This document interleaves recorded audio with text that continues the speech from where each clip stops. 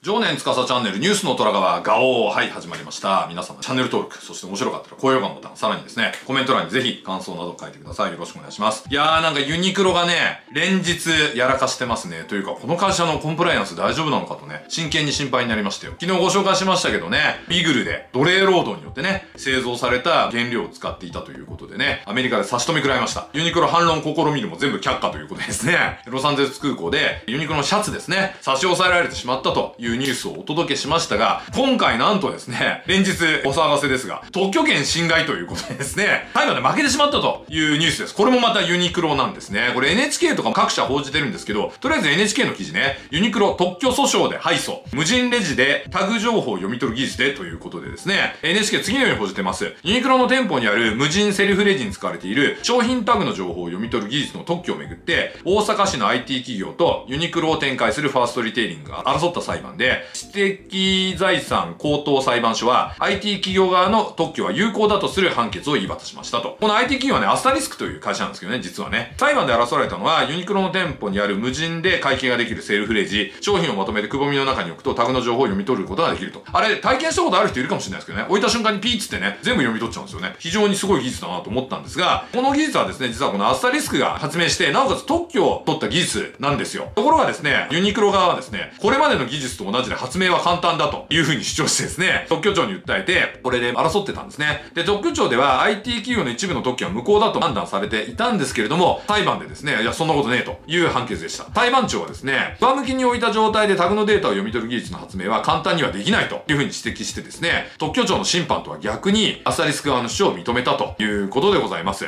で、アスタリスクのですね、鈴木社長はですね、中小企業の技術開発へのチャレンジが簡単に覆されてしまうのは良くないので、特許が認められて本当に嬉しい。この判決をきっかけに中小企業の特許も正しく扱われる世の中になってほしいというふうに話すそうです。もう大変でしたね、社長ね。私も中小企業の経営者なんでわかりますよ。大企業様ね、もう本当にね、我々のような、吹けば飛ぶような中小企業、人間と思ってくれてるのかなよくわかんないけどね。ユニクロ側はですね、判決内容を精査するというですね、まあコメントをしているそうです。このね、事件で私思い出したのはね、アップル社によるね、中小企業いじめの話昔ありましたよね。あのことをね、ちょっとね、思い出しちゃったんですよ。これね、ちょっと調べたらね、週刊アスキーにね、記事がありまして、この記事はね、つぶい総一郎さんというね、アスキーの方が書いた記事なんですけれども、記事の中でね、こんな紹介があるんです。2013年に発売された、アップル帝国の正体というね、文芸春秋社から出た本があるんですけど、この中にね、iPod のステンレスを研磨している職人の元にアップル社員がやってきて、一日中ビデオカメラを持って職人の手元の作業風景を収めていったという描写があるんですね。この撮影は3日にわたり、そのステンレス製商品の生産はアジアの他国に移管され、燕三条周辺でアップルからの仕事はなくなったというふうに言われていますと。このことを紹介してですね、燕三条で行われたステンレス研磨において課題なのは、日本の高い人件費と大量生産への対応と言われていると。つまり研磨方法を人件費の安い地域に移転させ、大量生産を起としたと推察されるというふうに言ってますね、坪井さんはね。技術研磨っていうのはね、大きく分けて、素材と研磨する機械と手作業に分けられるんですけど、素材と研磨する機械は金さえあれば買えますよね。問題はその手作業のとこなんですが、そのボトルネックの手作業をですね、ね優越的地位を使ってですね、事実上、スパイを送り込んで産業スパイをね、公的にね、撮影させてくれと言って断れないですよね。こっちだって買ってもらってっから。撮影させて、盗んでしまうというのは、これちょっとシャレになってないんじゃないかというご指摘なんですよ。そういう意味でですね、アスキーの記事によると、ツワイン三条でのアップルの試みは、ビデオ学習によって直接的な指導を仰がない環境下でも、インサイダーの立場を通じて模倣できたことを意味している。つまり、細部の品質の差など、長年の熟練を必要とする部分はあるだろうが、会社としての品質基準をクリアすることに目標を置いた場合に、それまでの制度は不要であった可能性もあろう。それよりもある水準以上の製品を大量に生産し、コストを下げ、収益を高めるよう、経営バランスを図ったのだと考えた方が、腑に落ちると。このように取引を通じてノウハウが移転する可能性について、他にもいっぱい事例があるということでね、この後 Amazon の事例も紹介してるんですけど、Amazon が独自の配送網を作るとか言ってるでしょ？あれもですね、もともと Amazon っていろんなところに発注してたんですよね。例えば、日通、日本郵政、ヤマト、セイノ、佐川急便とかね、いろいろ使ってやってたんですけど、この業者との取引を通じてですね、配送のノウハウを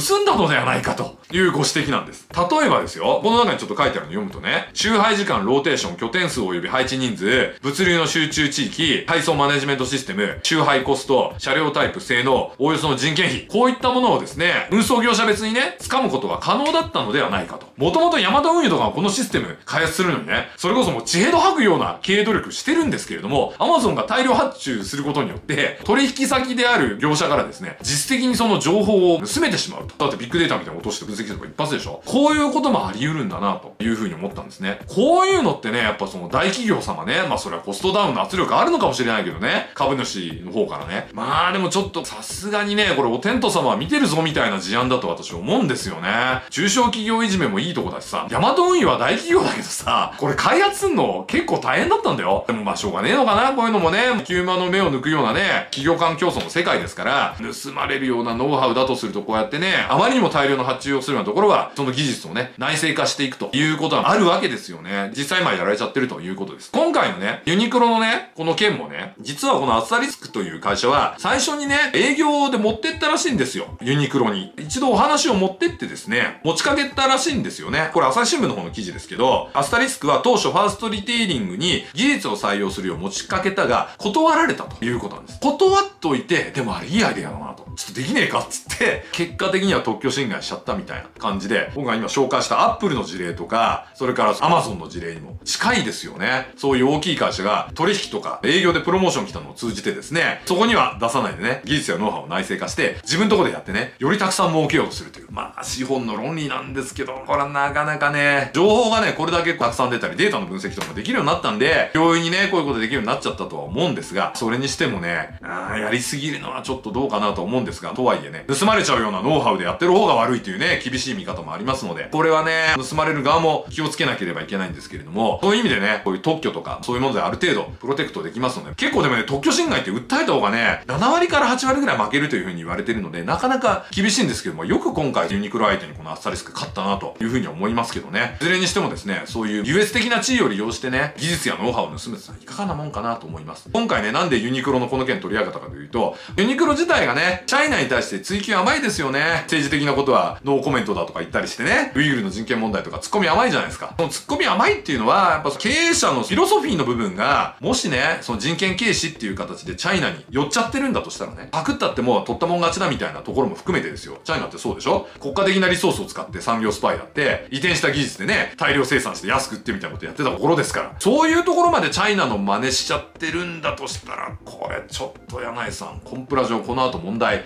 いっぱい出てくるんじゃないかなと。そんな風に思わなくもないなと。下請けいじめやらないようにね、いろんな法律とか整備してますけれども、まだまだ守られてないようなね、感じはしますが、でもね、法律で守ってもらわないと勝てないっていうのもね、これもまたね、非常に情けない話でね、企業経営者としてですね、厳しいことを要求したい反面ですね、まあでもこれ、ちょっとね、平場で戦ったら勝てねえなみたいなのもありですね、非常に複雑ですが、とはいえですよ、ユニクロさん、経営理念、経営哲学、向こうにあんまり寄っていくとね、ちょっと良くないかなと思いますね。ウイグルのね、人権弾圧、証拠ありますから、昨日の動画でも言いましたけどね、もうちょっとよく調べてやってください。チャイナのやり方がいいんだみたいな感じで、パクリもいいんだみたいな、そういう発想になってるんだとしたらこれ、とんでもない問題ですから、もう一回ね、ちょっとね、コンプライアンスというものをね、お考えいただいてもいいかなと。経営のね、大先輩でね、私なんかよりも大成功してる柳井さんにね、こんなこと申し上げるのはね、大変おこがましいんですけれども、でもね、柳井さんぜひね、世界情勢ね、もうちょっとよくお考えいただいてね、今、世界がどっちに向かってるかということをね、頭に入れて経営していただくのがいいんじゃないかなというふうに思っております。あと、中小企業いじめるのもね、やめてください。ということで、今日の内容面白いなと思った人はね、高評価のボタン、そしてね、チャンネル登録をお願いします。それからコメント欄に感想などね、書いてくれると大変嬉しいです。